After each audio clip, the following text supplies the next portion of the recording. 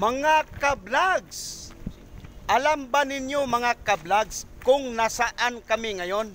Yan mga kablags ha. Mga kablags, yung ginagawa po namin mga kablags sa mga oras na ito mga kablags, ang tindi ng sikat ng araw. Bakit ka mo mga kablags? Ito yung mga kasama ko mga kablags. Ito talagang totoong mga mandirigma.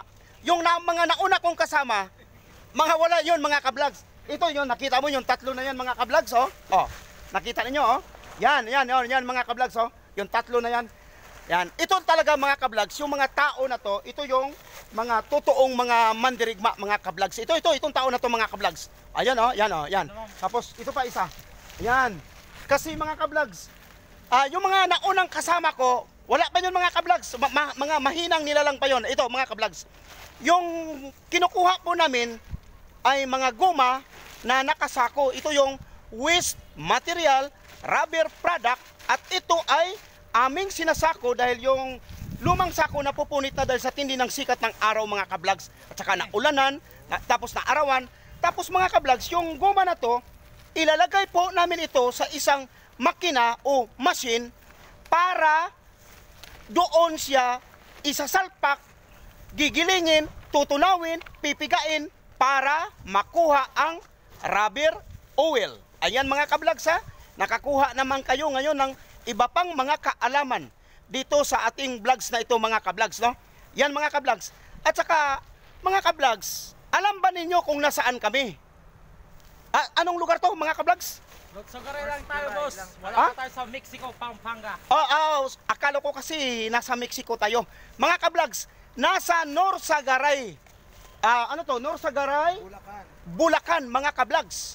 So, bukas saan yung schedule natin mga kablags? Mexico. Mexico tayo. Ayan. Mexico, ano yun? Pampanga. Ah, Mexico, Pampanga kami bukas, mga kablags. Ayan. Ayan, mga kablags ha. So, mga, sa mga oras na ito, mga kablags, ang sisipag ng aking mga kasama dito. Ganito kami, mga kablags. So, ang aming hanap buhay, mga kablags, bawal po dito ang taong maarte. FYI po, mga kablags ha, for your information, bawal po ang mga taong masilan sa hanap buhay. Kasi ang aming hanap buhay mga kablags, ito ay may kadumihan. Pag ikaw maarte, hindi ka pwede rito mga kablags. Doon ka sa, saan sila pwede? Sa bahay, sa mall o sa mall. Doon sila, doon kayo sa mall po magtrabaho dito sa amin. Malamig It, oh, malamig doon. Ito, ang tindi ng sikat ng araw, ganitong oras mga kablags. Ang oras po ngayon mga kablags, mag-aalas dos ng hapon. Ayan mga kablags ha. Alas dos ng hapon, gumagawa po kami. So dito po, ito yung tinatawag na labanan ng mga mandirigma. Ayan. Labanan ng mga mandirigma to ngayon mga kablags. Nakita nyo, yung, yung nakasako, kinakarga po ngayon sa truck. Ayan. So, mga kablags, pag ikaw ay masilan, maarte, eh hindi ka pwede rito. Di, bawal dito. Ngayon, ah dito, ah, yung hanap buhay namin mga kablags, marumi nga, pero may kasabihan. Ang pera, nandyan sa basura. So, kaya nga kami, kami mga kablags, kalkal basura kami, pero wag ninyo kaming ismulin. Bakit? Baka yung iniisip nyo, nagkamali kayo ng hinala. Ayan mga kablags ha.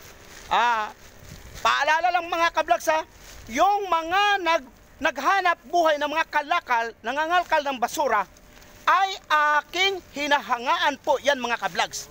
Yung mga tao na yan, lubos kong hinahangaan yan. Kayo ang totoong bayani sa inyong buhay. Dapat kayo ang bigyan ng plaki. Itong mga tao na to, ito to, itong mga tao na to, o tanggal mo yung ano mo, tanggal mo, ayan o, yan o, o yan, ito mga kablags, ito, yan o, ayan na, yan mga kablags. Yon ang dapat bigyan ng plaki. Ayan mga kablags ha, sa mga oras na to mga kablags. Mag alas dos na ng hapon. Tutok, tirik ang araw. Dito po kami mga kablags. Talaga naman mga kablags, kami talaga ang totoong mandirigma. Dapat kami ang bibigyan ng mga plaki.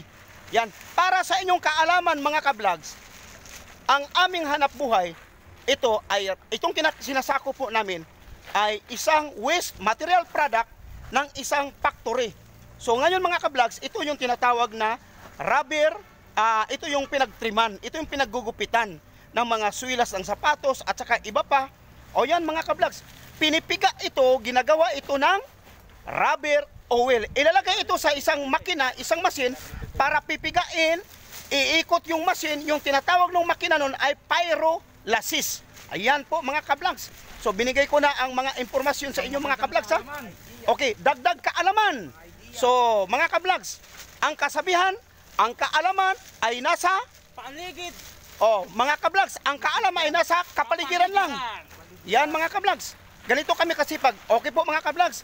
Babay po sa inyong lahat mga kablags. Salamat sa inyo.